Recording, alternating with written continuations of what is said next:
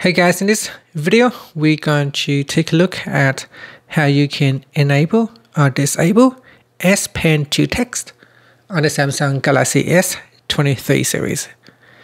First tap on the home button to return back to the home screen. And from the home screen, swipe down at the top. Then in the quick settings panel, tap on the settings icon. Next, we scroll down and then tap on advanced features then tap on S Pen. Next, we go down and then tap on S Pen to text. Tap on the toggle button to switch it off or turn it on. Now for more information on how to use this feature, you can tap on the left hand side panel.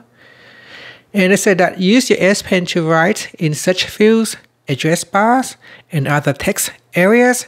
Your handwriting will be converted to text, but you can still scratch out add to and edit the converted text with your S Pen. And it even uh, show you how to edit it. Now you can swap it out. So if you write something and you need to swap it out, just swipe forward, swipe forward again to swap it out. You can insert a space. You can then from there you can scratch it out, or you can correct it with a different uh, letters. Seems to be a bit complicated for me to use uh, these features. However, uh, nonetheless it is there for you to use. So for example if I open up my um, my browser and in here I can move my S Pen closer to the text field and you can see right there. And I can uh, swap it out or I can start again so I can write uh, test and convert your writing to text.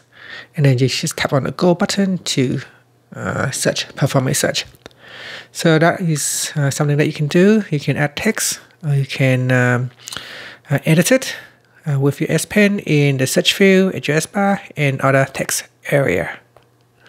And that's it. Thank you for watching this video. Please subscribe to my channel for more videos.